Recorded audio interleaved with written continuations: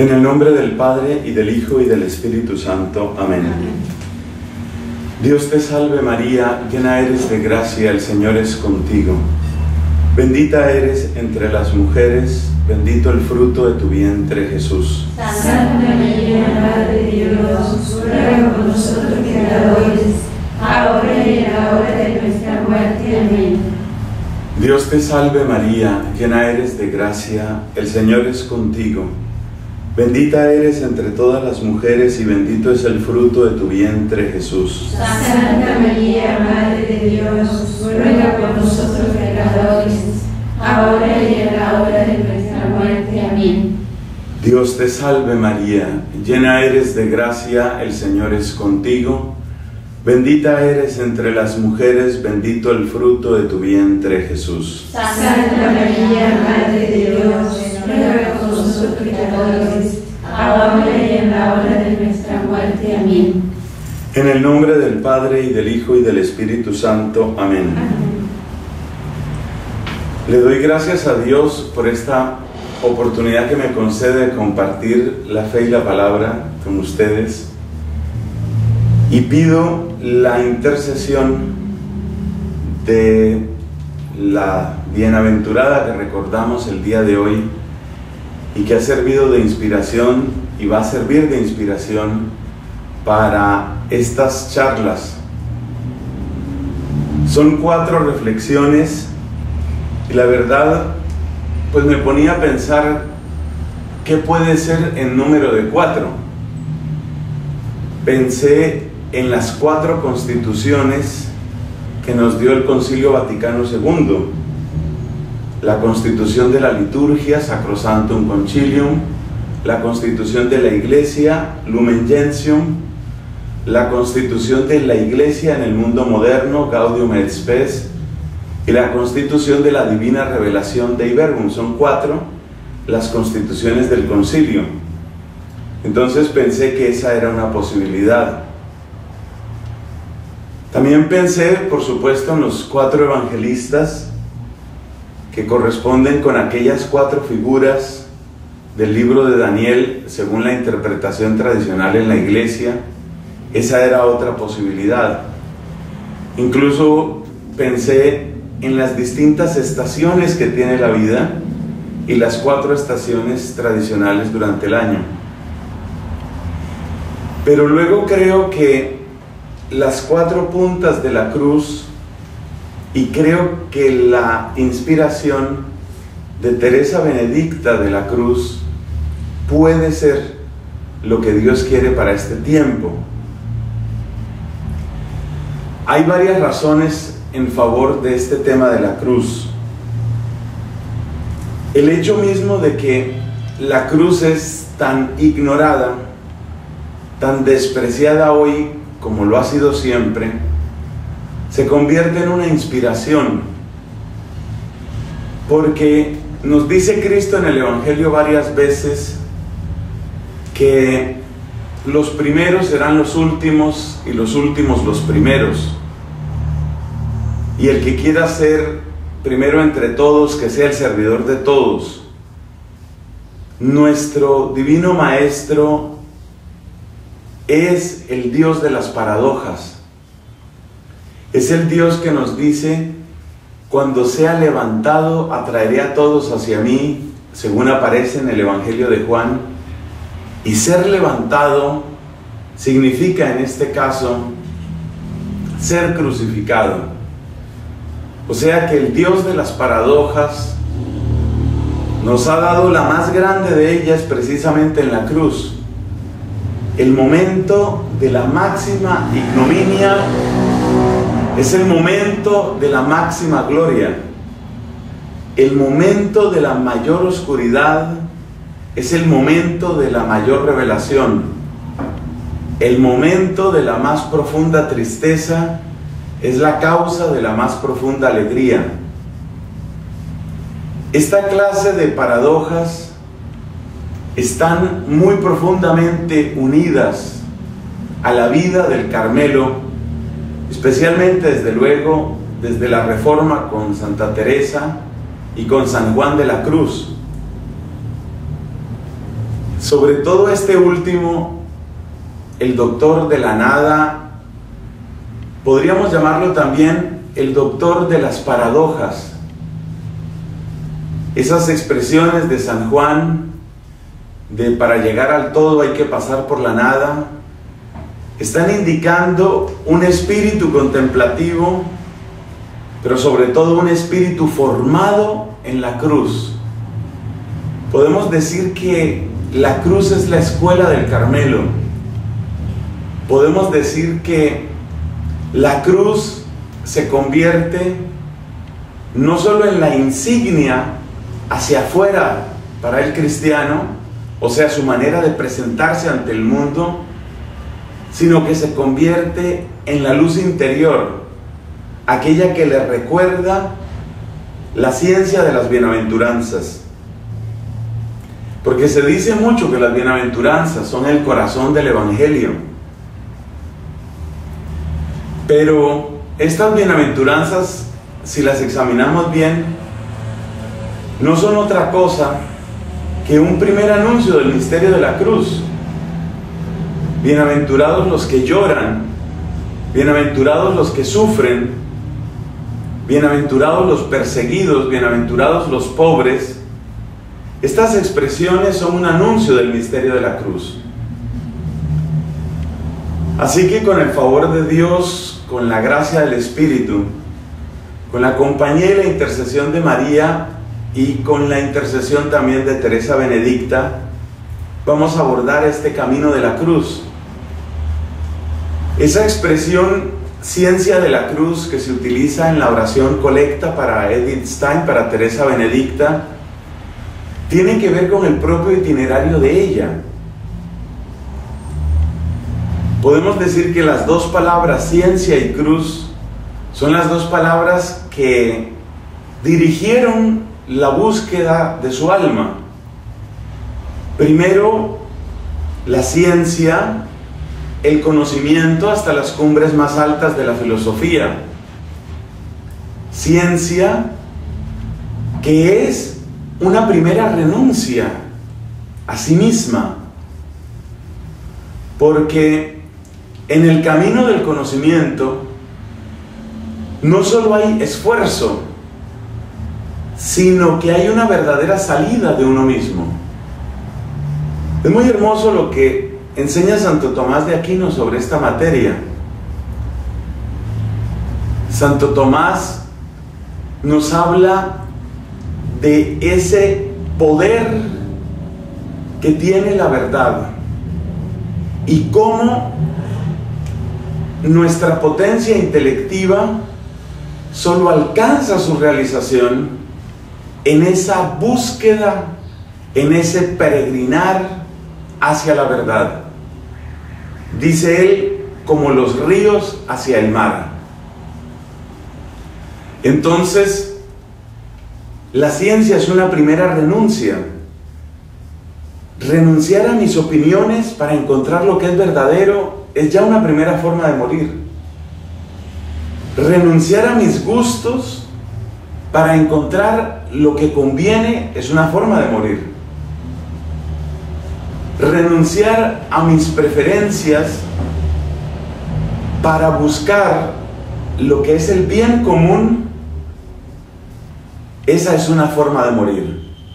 O sea que ya la cruz como que se anuncia tímida en la vida de Teresa Benedicta, ya cuando ella busca la ciencia. Todo aquel que se pone en camino hacia la verdad, aunque no lo sepa, va en camino hacia la cruz. Porque así como no se puede buscar la verdad sin encontrarse con Cristo, así tampoco se puede buscar a Cristo sin encontrarlo crucificado, por supuesto, como camino y preámbulo hacia la Pascua. Esto que quede claro desde el principio. Cuando hacemos elogio de la cruz, estamos haciendo una apología del el dolor por sí mismo o del fracaso por sí mismo. Si hablamos de la cruz es por dos razones. porque en ella se ha manifestado, mejor que en ninguna otra parte, el amor compasivo y redentor de Dios. Lo que nos interesa de la cruz es el amor.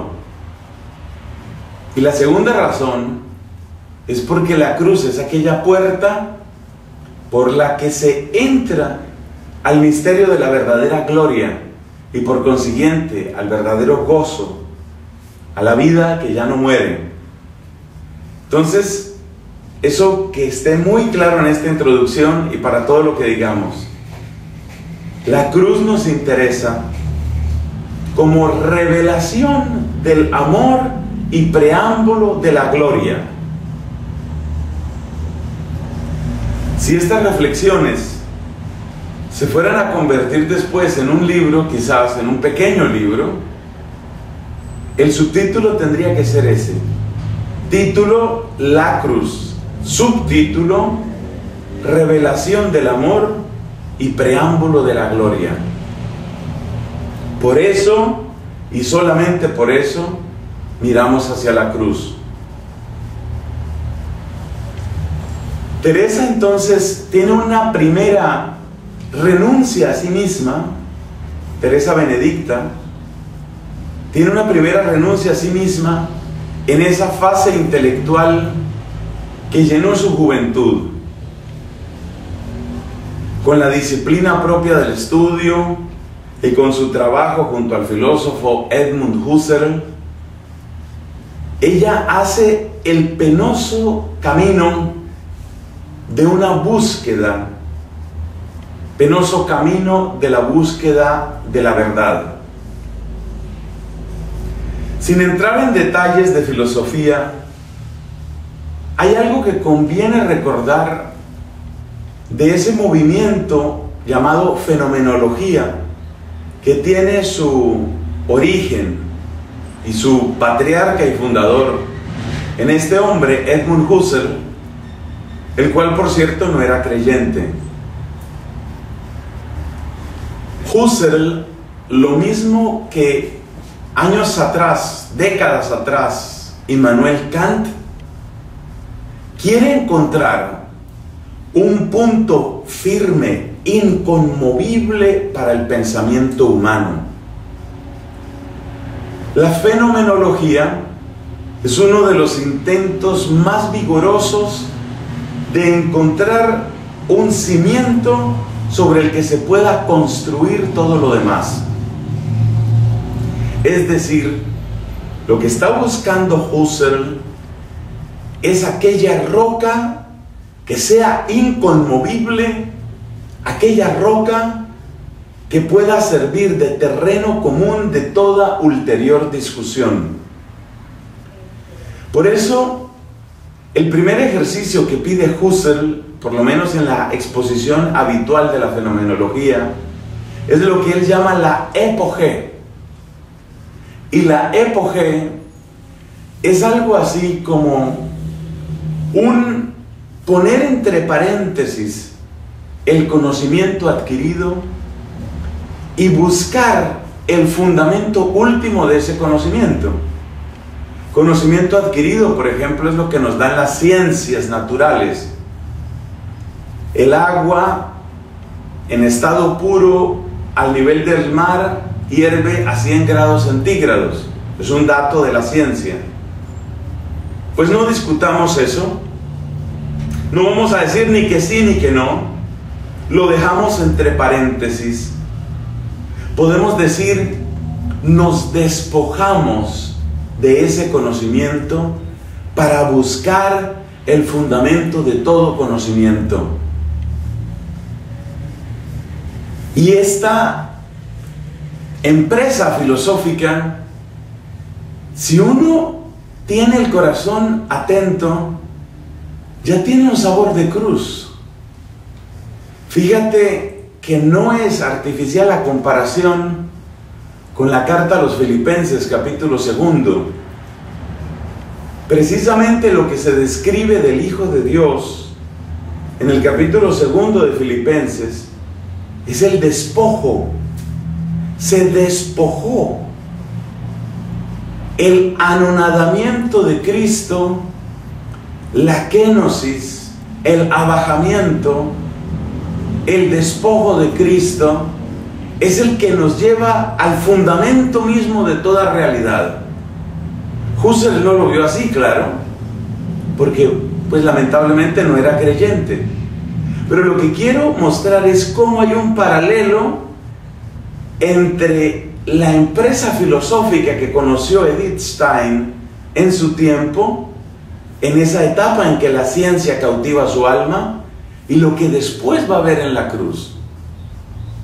Hay un despojo, hay un despojarse. Y ese despojarse, esa renuncia, tiene un propósito, encontrar la roca fundamental. Después de leer tantas páginas de filosofía, esta mujer, Edith Stein, luego conocida como Teresa Benedicta por el nombre que ella adoptó, pasa sus ojos por otras páginas. Y esas otras páginas son también la historia de un despojo y de un fundamento. Son las páginas de la gran Teresa de Jesús. Y a lo largo de esas páginas, lo que encuentra Edith es que el verdadero y total despojo es la condición en la que ya se encuentra el ser humano por el pecado. Y que el verdadero y total despojo es el que ha adoptado el Hijo de Dios al venir a nuestra tierra y al morir por nosotros en la cruz. Y luego que el verdadero y total despojo es el de aquel que resueltamente, amorosamente, perseverantemente se desnuda ante Dios en la búsqueda de la contemplación. La contemplación, la vida contemplativa, es el verdadero y real despojo. Aquello que quería Edmund Husserl de poner entre paréntesis todo y buscar el fundamento, en el fondo va a seguir siendo la empresa, el empeño de Edith Stein. Ella va a poner entre paréntesis el mundo entero, no solamente lo que diga la ciencia, sino todo lo demás. ¿Cómo se parece ese propósito a lo que dice San Pablo sobre la cruz? Y todo lo considero basura con tal de ganar a Cristo. Eso significa que en su búsqueda en el Carmelo, en su camino de fe en el Carmelo y en su vida de oración en el Carmelo, esta mujer está avanzando en el mismo camino, pero de otra forma. El camino del despojo y del fundamento. Y llega la cruz entonces, de muchas maneras. La cruz que significa abandonar de algún modo su raza, su raíz, su origen. La cruz que implica la separación marcada por la clausura. La cruz que implica seguramente el aprendizaje de una nueva forma de vida con las dificultades que siempre tiene el convivir con otras personas, pero luego la cruz suprema, el martirio. Y en ese martirio y en ese camino sigue resonando la búsqueda de la verdadera sabiduría. Porque las lecciones más preciosas las da Cristo cuando las escribe en las páginas de nuestra propia vida. Esas son las lecciones que nunca olvidamos. Las lecciones que estén escritas en estos libros que usamos pueden ser y son de hecho útiles, pero solo cuando Cristo empieza a escribir en nosotros, esas lecciones ya no las olvidamos, según aquello que dijo Teresa. Las palabras de Dios son obras.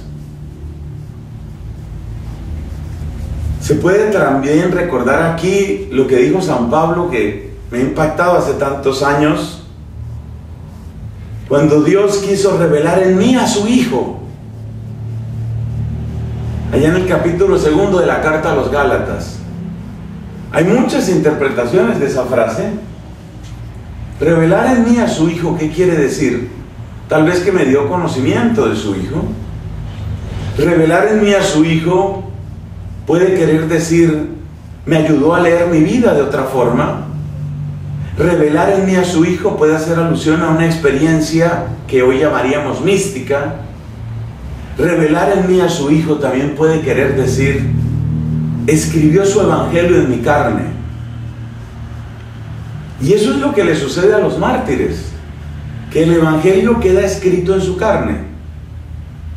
Cosa que es hermosísima porque va en paralelo con lo que sucedió con Cristo. Cristo habló con elocuencia sublime, genuinamente divina.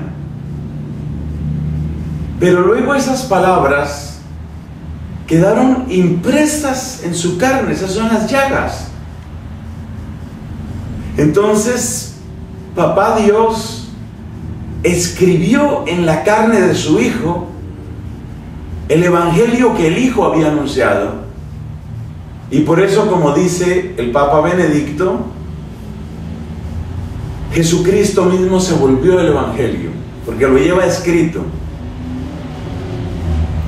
Entonces aquella ciencia que la joven Edith Stein había buscado, la había buscado seguramente para su inteligencia, diríamos para su cerebro, Dios se la dio con abundancia, pero no solo para su cerebro, se la dio para escribirla en su carne entera.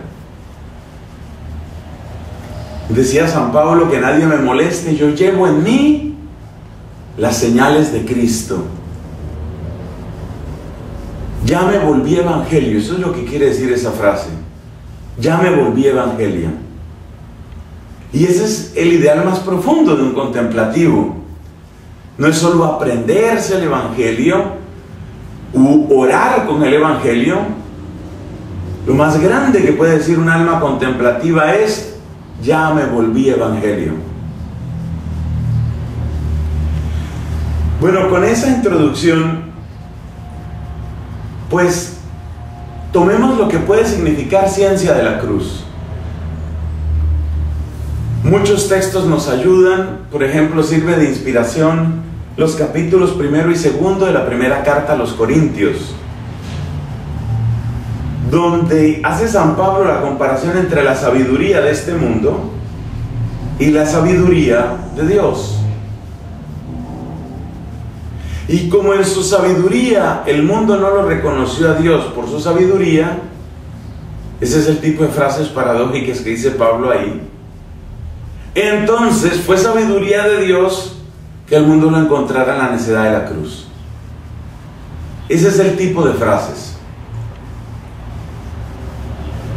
Entre tantas paradojas que desafían nuestra inteligencia y que pueden casi marear el corazón, nos preguntamos si puede haber un camino. Ese camino es el que he tratado de escribir aquí. Estas cuatro palabras, cada una de ellas señalada por una pequeña cruz, estas cuatro palabras no retratan el misterio de la cruz, pero sí retratan la experiencia de la cruz. El conocimiento empieza por la experiencia. Entonces, pues la experiencia de la cruz será la que nos va a llevar a la ciencia de la cruz. Y por eso nos preguntamos, bueno, ¿y uno cómo experimenta la cruz? Y la respuesta es que uno experimenta la cruz en lo inevitable, lo contradictorio, lo doloroso y lo adverso. Estas cuatro palabras nos sirven entonces de referencia y nos sirven un poco como de mapa para nuestro recorrido. La ciencia de la cruz. Cada una de esas palabras para una de estas sesiones. Es decir, que además de esta introducción vamos a comentar ahora algo sobre lo inevitable y luego nuestra siguiente sesión será sobre lo contradictorio, lo doloroso y lo adverso.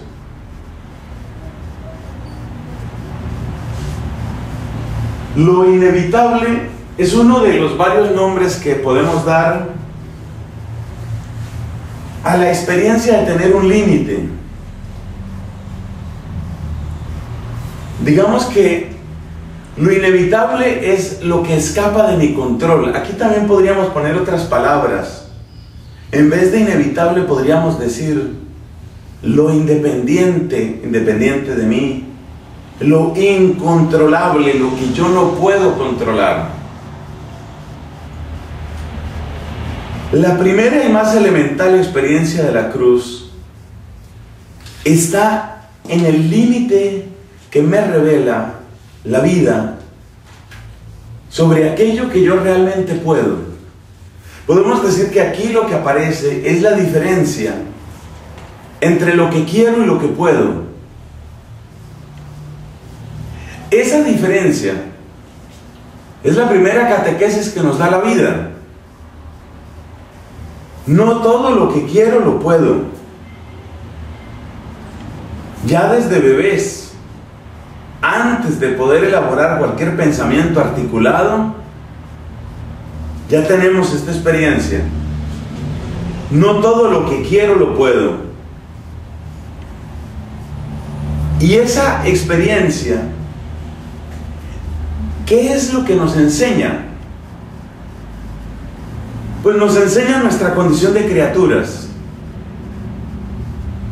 Porque resulta que si miramos el misterio de Dios, una de las características de Dios es que todo lo que quiere lo puede. De hecho, esa podría ser una definición de Dios. Y la pretensión de divinidad, el endiosamiento del ser humano, que por supuesto es, por supuesto es expresión de soberbia en nosotros es el pretender que todo lo que yo quiera se haga. Por la misma época en que vivió Edith Stein, nació ella, como lo recuerda esta imagen, en 1891. Pues por esa misma época, mientras ella estaba en el alba de su vida, pues llegaba el ocaso de otro ateo, Federico Nietzsche, o Friedrich Nietzsche. Y este otro filósofo, paradójicamente, lo que viene a proponer es la llegada del superhombre. Y el superhombre de Nietzsche es aquel que rompe la dicotomía entre querer y poder. Es decir, el superhombre de Nietzsche es aquel que por decirlo de una manera gráfica se deja llevar por aquello que quiere y en el torrente incontenible de su voluntad logra eso mismo que quiere. Es decir, para Nietzsche, la muerte de Dios significa el endiosamiento, la llegada del carácter divino al hombre.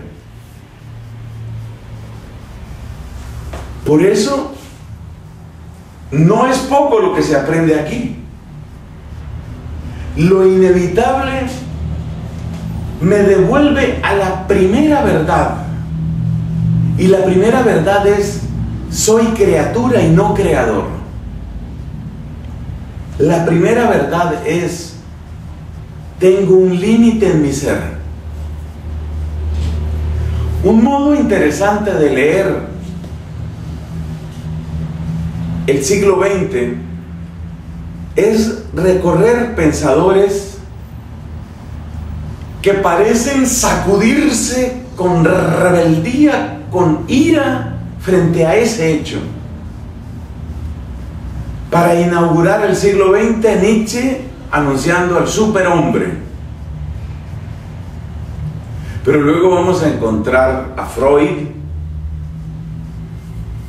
que quiere encontrar, que quiere descifrar en la mente humana la capacidad de restaurarse a sí misma.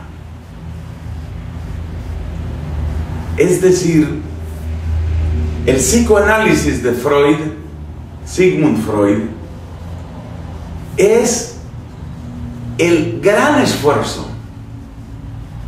el demencial esfuerzo del ser humano para decir, yo me sano a mí mismo,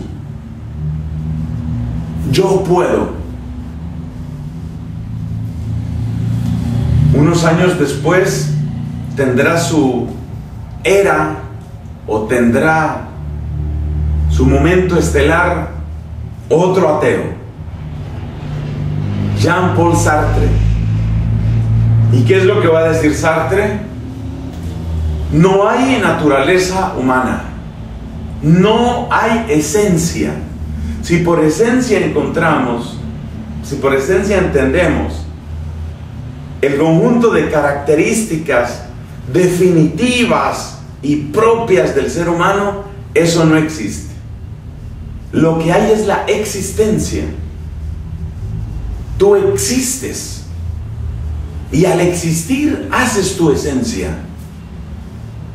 Fíjate la rebeldía contra la condición de criatura. Yo no tengo límites. Me lanzo, me lanzo a vivir. Y en lo que hago, eso soy. Mi esencia la hago yo, yo me hago a mí mismo. Entonces fíjate, Freud, que quiere reventar la represa para que fluya el torrente de la vida, de modo que el superhombre, al actuar, une querer y poder.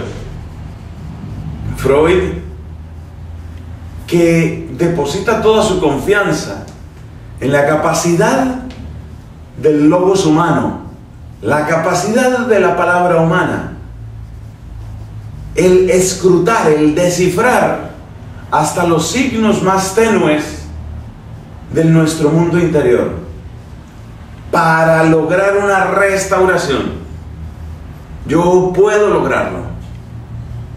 Y por último, Sartre pues nosotros no somos, sino que existimos. Y al correr, hacemos un camino, y al existir, construimos una esencia. Frente a todo ese pensamiento, la Orden del Carmelo verdaderamente tiene mucho que dar gracias a Dios. Porque prácticamente contemporánea de Nietzsche tenemos a Teresa del Niño Jesús, que es el extremo opuesto. Si Nietzsche lo que quiere es soltar al ser humano de toda referencia, incluso de la referencia de su prójimo, para que cada uno sencillamente se desboque a donde le lleve el torrente de su propia vitalidad, Teresa del Niño Jesús siente que la perfecta realización de la humanidad se alcanza cuando se agarra la mano de Dios, con la confianza, con el abandono, con la ternura, tres palabras repugnantes para Nietzsche. Y luego tenemos a Teresa Benedicta proclamando el misterio de la cruz. y luego tenemos a Isabel de la Trinidad, volviendo a definir al hombre desde Dios. O sea que yo pienso que estas grandes mujeres, grandes porque Dios fue grande en ellas, están mostrando una respuesta a esa arrogancia infinita, a esa arrogancia sin límites. Llegar a lo inevitable es entonces acoger y aceptar no solo que yo soy, sino acoger y aceptar cómo soy. Entonces, mi historia, la acogida de mi historia, esa es, esa es la primera escala, el primer escalón en la escalera de la cruz. Aceptar que no tengo toda la inteligencia, alguna tendré. No tengo toda la belleza, no tengo toda la vitalidad. No se me ocurren todas las ideas buenas.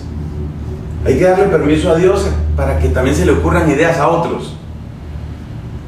No todas las ideas me llegan a mí. No, no todas.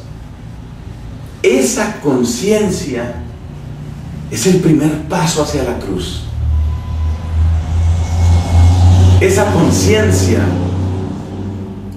es el primer paso para recibir una voluntad distinta de mi voluntad. Cuando el bebé aprende que no puede comer todo lo que quiere, ni solo lo que quiere, ni cuando quiere, que no es buena idea orinarse en todas partes, hay un lugar donde orina y hay un tiempo para orinar. No se duerme en todas partes. Hay un lugar para dormir y hay un tiempo para dormir.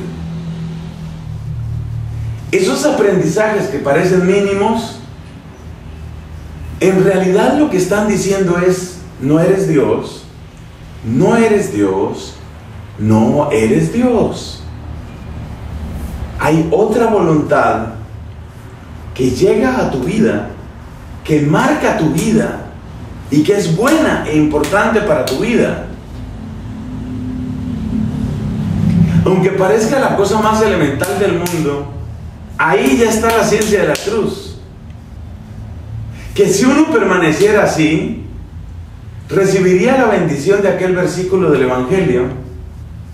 Si no volvéis a ser como niños, no entraréis al reino de los cielos. Y una de las docenas de interpretaciones que tiene esa frase de Jesús es esta. Volver a ser como niño es volver a aprender que las cosas no son cuando yo quiero, como yo quiero, donde yo quiero, con quien yo quiero. Volver a ser como niño es aprender a recibir una voluntad diferente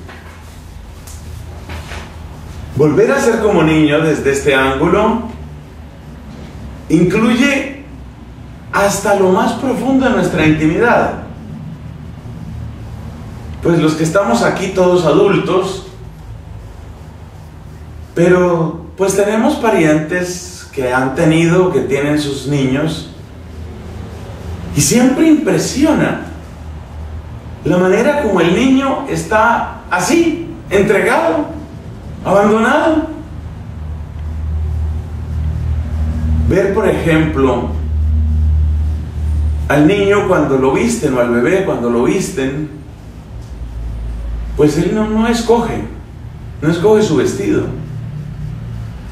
La misma intimidad de su cuerpecito está ahí, a la vista y, y al arbitrio y al cuidado de otros. Entonces otros son los que le asean y le cambian. Si uno pudiera vivir así, si uno pudiera reconocer que detrás de todas esas voluntades en la medida en que son voluntades bondadosas, como seguramente fueron las de nuestros padres y parientes cercanos, si uno pudiera reconocer que detrás de eso ya estaba papá Dios, para luego vivir siempre así, pues eso es Jesús. Eso es Jesús. Es uno que vivió así. Vivió así en el Padre. Para nosotros el tema de que nos laven, nos hacen y nos vuelvan a poner el pañal, pues no es tan fácil. Y si a uno le llega a tocar eso, pues seguramente no es fácil. Pero en lo inevitable ya hay una revelación de Papá Dios. Aprendo que soy criatura, aprendo que existen otras voluntades, aprendo que esas otras voluntades me hacen bien y aprendo que detrás de esas otras voluntades está la voluntad de aquel que es mi bien, mi Padre del cielo. Esos son los elementos de la cruz.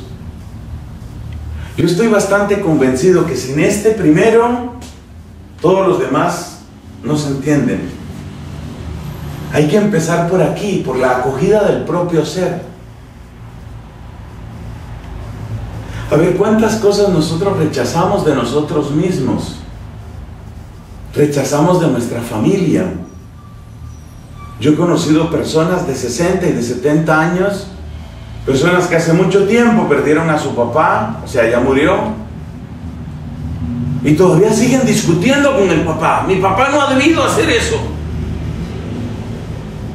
Tu papá se murió hace mucho tiempo. Ya sacamos los huesos. Ya no quedan sino cenizas. Y tú sigues discutiendo con las cenizas. No han debido, usted no ha debido hacer eso. En el fondo, esa discusión prolongada por años y años es esto, es no aceptar lo que viene como un hecho, como un dato. Es inevitable, yo no puedo cambiar a mi papá, yo no puedo cambiar el pasado, yo no puedo cambiar que eso ha tenido un impacto en mi vida. Entonces el rechazo a la familia, el rechazo a un aspecto del propio temperamento, el rechazo a un aspecto de la propia salud. Hay personas que rechazan su sexo, He debido ser mujer, yo he debido ser hombre. O qué aburrido, qué perezoso, qué feo ser mujer, aunque no necesariamente quieran ser hombres o lo contrario. Hay personas que rechazan. Yo conozco ese caso, incluso en mi familia. Yo, ¿por qué nací en Colombia? Yo no he debido nacer en Colombia. He debido nacer, no sé, Suecia, en Alemania, en Japón, alguna cosa rechazo al origen. Ese rechazo ya es rechazo al querer providente de Dios. Y ese rechazo ya es rechazo a la cruz. Porque además hay otra cosa. La verdadera razón por la que va a llegar cruz a nuestra vida es porque somos criaturas. Precisamente porque tengo un cuerpo por eso mi cuerpo se puede enfermar. Si yo tuviera otra constitución, pues no me molestaría ni el frío, ni el calor, ni la humedad, ni la sequedad. Aquí tenemos esta reja, que ahora no sé qué material es. ¿Esto parece metal o es madera? Metal. Pues pienso que en años que tenga esa reja, no se habrá quejado nunca. No lo sufre, no le afecta, si le afecta no le importa, no lo sabe. Es mi naturaleza la que produce dolor. Es mi naturaleza la que me hace sufrir contradicción. Es mi naturaleza la que me hace percibir adversidad. Es decir, todo empieza en mi propio ser. Todo empieza en lo que ya soy. Ahí empieza todo. Es muy interesante ubicar en el Evangelio unas cuantas frases que nos da Cristo que van en esta línea. No puedes hacer blanco ni negro uno solo de tus cabellos. Qué interesante esa frase, leída dentro de este contexto. A ver cuándo vas a asumir tu límite. No puedes aumentar un codo a tu estatura, dice Cristo, ¿no?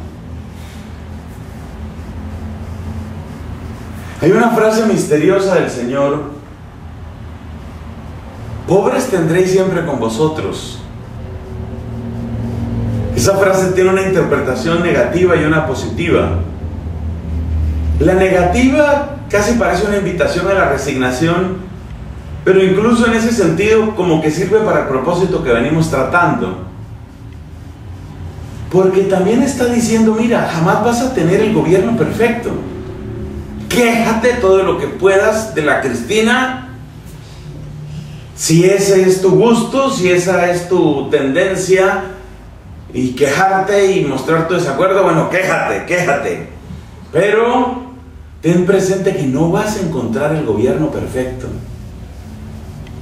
no vas a encontrar la superiora perfecta, no vas a encontrar las compañeras perfectas, las hermanas perfectas. Además, créeme que sería bastante difícil vivir con las hermanas perfectas. Que Dios lo libre a uno de caer en un monasterio donde todos son perfectos. Yo creo que sería algo bastante, bastante difícil. Pero esa frase de Cristo también tiene una interpretación positiva, puesto que la pobreza es una de las varias puertas que abre la gracia del Evangelio. El siempre tener pobres también significa siempre hay un espacio para que despunte la gracia y para que se anuncie el Evangelio. Entonces, tarea, por favor, de aquí a la tarde, cada una se acepta a sí misma. Para la próxima sesión hay que llegar aceptadas. Ya me acepté. ya, se, cumplió esa primera fase. Logrado eso, y ya acepté que estoy aquí, no en otra parte. Pero uno no acepta tampoco eso. Como dice aquella frase, que me parece que el original es en inglés, siempre se ve más verde el pasto del otro campo. Es que si yo estuviera en ese otro monasterio, ahí sí sería, ahí sí sería yo. Pero como estoy aquí, entonces, pues no se puede. Si yo hubiera, ahí sí sería yo, esa sí sería yo. Pero pues no me han dejado, no me han dejado. Si yo hubiera nacido, como me decía una amiga española, yo he debido nacer en otro siglo. no va a ser tan fácil que reparemos eso. No va a ser tan fácil. Cuando se empieza por este reconocimiento, que no es reconocimiento pasivo simplemente, sino que es tomar el piso, es asumir tu realidad. O sea, asumir lo que eres, no es solamente asumir lo que no puedes, sino descubrir lo que sí vas a poder. En ese descubrimiento, ahí empieza el camino, el camino de la cruz. Gloria al Padre, al Hijo y al Espíritu Santo. Como era en el principio, ahora y siempre, por los siglos de los siglos. Amén.